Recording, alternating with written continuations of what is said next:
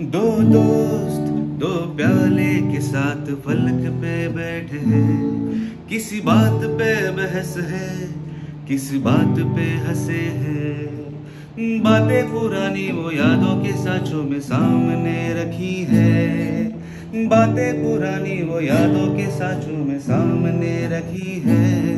दो दोस्त, दो प्याले के साथ फलक पे बैठे हैं।